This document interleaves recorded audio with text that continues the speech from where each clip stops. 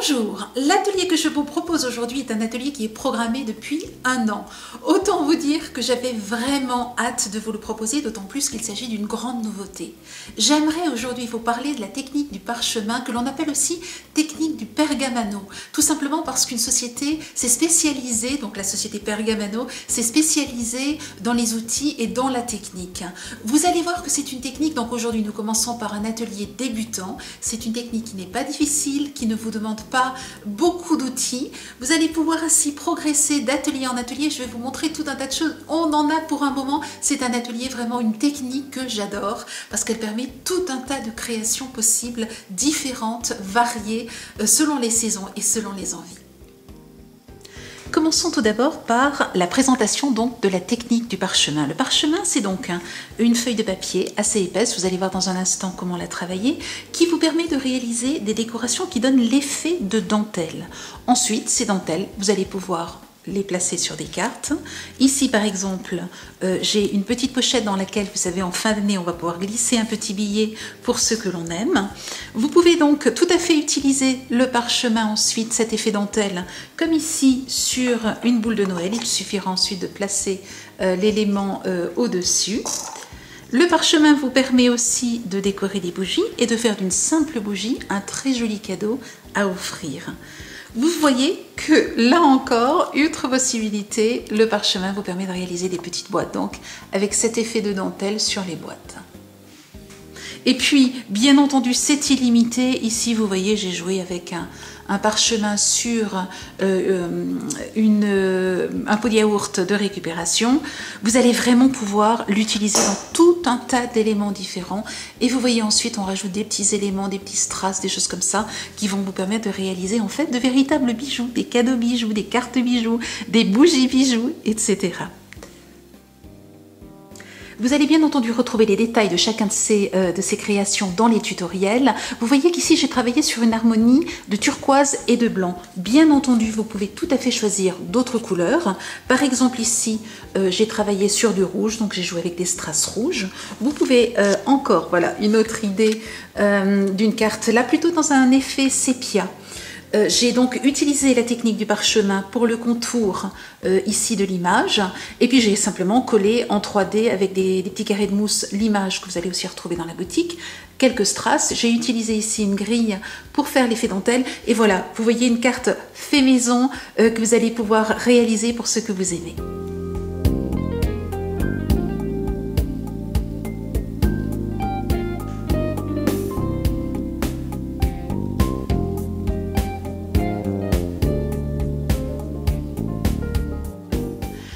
Commencer la technique du parchemin, vous avez en réalité besoin de très peu de choses. Bien entendu du parchemin.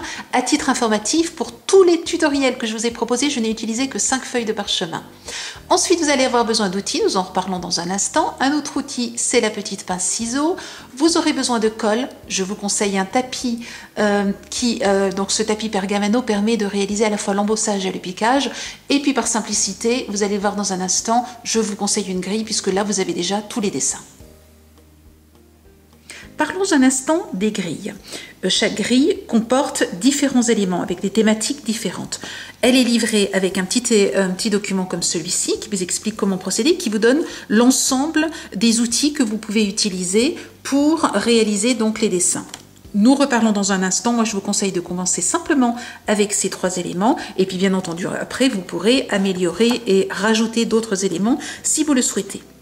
Autre chose intéressante concernant les grilles, c'est que vous allez pouvoir utiliser l'ensemble du dessin tel quel. Ou alors, vous allez pouvoir enlever euh, certains éléments. Et par exemple ici, vous le voyez très bien, on a utilisé que le contour ici euh, de la grille. Donc vous n'avez que cet élément-là. Vous enlevez un autre élément et vous ne dessinez que celui-ci. Ou vous enlevez encore un autre élément et vous dessinez que celui-ci. Vous allez par exemple pouvoir mettre ici un 3D ou des stickers, etc. Donc vous voyez que vous pouvez utiliser tel quel ou recomposer vos dessins euh, et donc réaliser vous-même vos décorations avec les motifs que vous souhaitez. Parlons maintenant des outils. Je vous le disais, je vous conseille pour commencer le stylet numéro 3, le stylet numéro 1 et la grosse aiguille euh, qui vous permet de faire du piquage. Ces deux outils, les stylets vous permettent de faire de l'embossage et euh, l'aiguille avec une seule aiguille vous permet de faire le piquage. Vous avez, euh, et vous retrouverez dans la boutique, tout un tas d'autres outils qui vous permettent de faire des choses très très différentes. J'ai oublié de vous dire une petite chose. Lorsque vous avez les outils, euh, vous les aurez à la maison. Euh, au bout de l'outil, vous avez toujours le dessin qu'il dessine sur le parchemin. Et donc ces outils vont vous permettre de réaliser tout un tas de dessins différents et donc d'enrichir vos créations avec des formes différentes et des poinçons différents. Voici un coffret qui pourrait vous intéresser. Il s'agit d'un coffret débutant dans lequel vous allez avoir tous les éléments et les outils nécessaires à la réalisation des décorations que vous voyez ici. Notre aventure commence. Je vous montre comment euh, réaliser donc euh, cette technique et vous allez voir que c'est vraiment très simple. Première chose à vous montrer, regardez, j'ai placé donc la grille sur le tapis et regardez, elle ne bouge pas parce que le tapis est prévu euh, de façon à ce que votre grille ne bouge pas et que vous puissiez travailler en toute sécurité et facilement. Ensuite, vous choisissez l'élément que vous souhaitez utiliser donc pour réaliser votre motif. Vous découpez un petit bout de parchemin de la taille de cet élément. Donc vous voyez qu'on utilise finalement très peu de parchemin. Ensuite, il vous suffit de prendre un adhésif et de venir sur le contour de votre élément le bloquer de façon à ce qu'il ne bouge pas sur la grille. Alors, vous vous demandez peut-être ce que j'utilise ici comme adhésif. C'est tout simplement un adhésif, vous savez, qu'on utilise pour masquer euh, la peinture de façon à ne pas avoir de, euh, euh, de, de, façon à ce qu'elle ne déborde pas, de ne pas avoir de coulée. Voilà, une fois que cela est fait, plus rien ne bouge, je peux travailler. La particularité du parchemin, c'est de devenir blanc dès qu'on le frotte. Il me suffit donc de prendre un outil qui va me permettre de venir frotter le parchemin à l'intérieur des motifs. Donc c'est pour ça que je vous, je vous conseille de commencer avec une grille, parce que vous avez juste à suivre les motifs et donc à venir en quelque sorte colorier l'intérieur des motifs. Et selon la taille du motif, vous allez utiliser plutôt un stylet avec une pointe épaisse ou alors au contraire un stylet avec une pointe plus fine. Une fois que vous avez euh, bien colorié l'intérieur, vous pouvez tout à fait reprendre un outil un petit peu plus fin et venir bien marquer le contour de façon à ce que euh, cet espace soit bien délimité. Attention, vous n'avez pas besoin de presser très fort, hein. euh, c'est tout simple, vous passez votre outil comme ceci, si vous pressez trop fort, vous risquez de passer à travers et donc de faire un trou. Donc j'allais dire, laissez votre outil se promener sur le motif et vous allez voir, le blanc apparaît très très rapidement.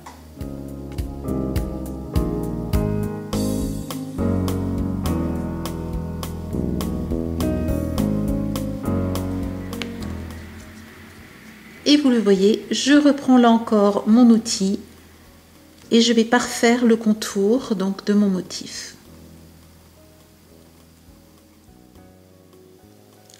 J'utilise ensuite mon outil numéro 1 pour venir tracer les traits et vous voyez qu'ils disparaissent dès qu'ils euh, ont été tracés. Donc c'est une manière de vous y retrouver, de savoir lequel a déjà été embossé. Donc cette technique-là, c'est l'embossage, puisqu'on euh, travaille en fait dans la texture du papier de façon à lui apporter cet effet blanc. Donc vous voyez que dès que votre motif est embossé, eh bien il devient blanc et vous le voyez disparaître en fait euh, de votre grille.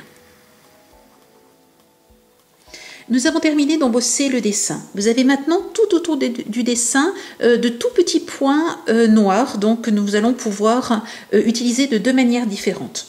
Par exemple, si vous l'embossez comme nous venons de le faire, si vous les embossez, vous allez avoir donc cet effet ici, tout autour, qui vous donnera donc des petits points embossés. Ce que nous allons faire nous, donc ça c'est très intéressant de le faire quand vous êtes sur un motif que vous ne voulez pas découper. Par contre, nous allons découper notre papillon, donc maintenant, nous allons piquer et utiliser donc ces petits points pour piquer.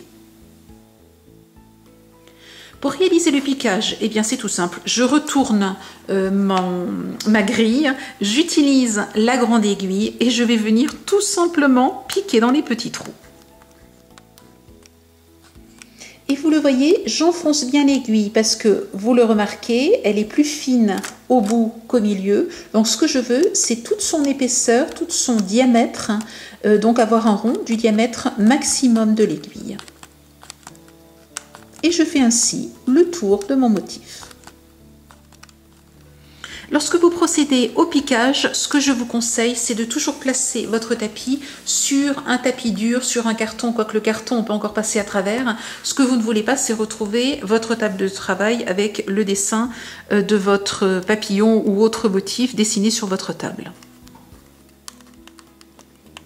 Là encore, n'hésitez pas au fil du travail à tourner votre euh, ouvrage de façon à pouvoir facilement euh, travailler donc et être à l'aise avec euh, votre outil.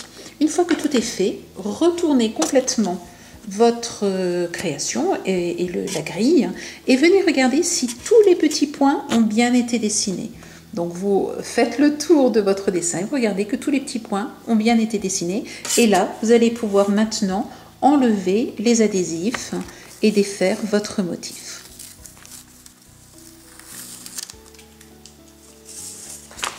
Et voilà, le dessin est terminé. Vous voyez que c'est tout simple. Il suffit de suivre le motif et vous avez un très joli papillon. Ce que vous pouvez éventuellement faire si vous le souhaitez, c'est euh, retourner votre dessin le côté qui a été embossé et éventuellement, si vous le souhaitez, marquer un petit peu plus en blanc certains euh, certaines parties, certains éléments et reprendre un petit peu le dessin de façon à vraiment avoir quelque chose euh, où vous allez jouer un motif où vous allez jouer avec des blancs différents, donc plus ou moins foncés. Observez avant le découpage vos petits points. Vous allez vouloir les découper du côté où ils sont plats. De l'autre côté, vous le voyez, ils sont en relief. Donc vous ne voulez pas découper de ce côté-là. Vous allez retourner votre feuille. C'est en fait du côté où le relief est blanc. Donc vos petits points sont plats. Vous allez ensuite positionner vos doigts comme ceci et venir placer votre motif à découper, donc les petits points à découper entre vos deux doigts. Placez ensuite les deux euh, bouts de votre ciseau pince à l'intérieur des trous. Vous êtes ici quasiment à l'horizontale, euh, à la verticale, pardon. Vous allez positionner une fois que vous les avez mis dans les trous euh, vous allez positionner votre paire de ciseaux à l'horizontale et vous, avez vous allez légèrement tourner comme ceci. Je recommence. Alors, chaque fois, vous retournez votre euh, dessin de façon à être bien euh, positionné. Donc, droit, couché, tourner. Je repositionne. Droit, couché, tourner. Droit, couché, Et vous voyez, c'est tout simple. Et vous allez petit à petit former ainsi euh, cet effet de petite dentelle, donc, qui est si joli au pergamano ou à la technique du parchemin. Ce que je vous conseille de faire, c'est au fil euh, de votre découpe, de découper ce que vous venez déjà de faire de façon à savoir plus facilement où vous en êtes. Et donc vous le voyez ici, on voit bien les petites dents qui sont vraiment euh, typiques de la technique du pergamano et de la technique du parchemin.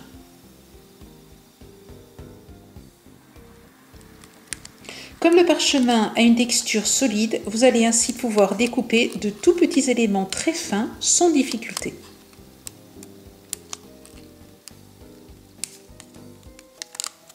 Le fait de découper régulièrement vous permet de voir si vous n'avez pas sauté, si vous n'avez pas oublié un cran et de revenir en arrière si besoin. Pas de difficulté là non plus, vous pouvez revenir en arrière et donc découper ce que vous avez oublié de découper. Je fais une toute petite parenthèse pour vous montrer comment réaliser ces petites croix parce qu'elles se font avec la même technique. Pour cela, il vous faut en fait avoir un dessin, et vous en avez énormément sur les grilles, il vous faut avoir un dessin avec quatre petits points comme ceci. Vous placez votre paire de ciseaux droite, plat, tournez. Vous retournez, vous recommencez, droit, plat, tournez. Vous recommencez, droit, plat, tournez. Et une quatrième fois avec les deux derniers points, droit, plat, tournez. Et le petit bout qui s'en va vous permet de garder donc cet effet de petite croix. J'ai terminé de découper l'ensemble de mon papillon et j'en ai préparé un autre que lui, je n'ai pas formé. Celui-ci, je l'ai déjà un petit peu formé comme ceci. Euh, l'autre, je l'ai laissé à plat. Et ce que j'aimerais maintenant faire, hein, c'est positionner l'un au-dessus de l'autre pour donner l'effet d'un papillon qui s'envole. Lorsque vous allez rajouter euh, la colle, vous la placez toujours sur les éléments blancs de façon à ce qu'elle ne se voit pas. Je vais donc ici la placer là. Lorsque vous ne pouvez pas la placer sur un élément blanc, eh bien vous le mettez sur un élément transparent, mais par contre, vous allez le cacher avec par exemple un strass ou bien avec un nœud. Donc il y a toujours une possibilité de trouver un bon collage qui vous permet à la fois de coller votre élément et de cacher le collage si besoin. Et voici un papillon qui semble vouloir prendre son envol. Il est terminé. Vous remarquez au passage que euh, pour les antennes, euh, j'ai découpé, donc j'ai enlevé celle du papillon du dessous pour ne garder que celle du papillon du dessus, de façon à avoir quelque chose de beaucoup plus euh, joli. Il ne me reste maintenant plus qu'à coller ce joli papillon sur une de mes décorations.